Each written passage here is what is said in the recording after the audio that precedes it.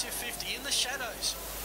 Glorious afternoon. If you're not in Adelaide, you've missed a glorious day of sunshine in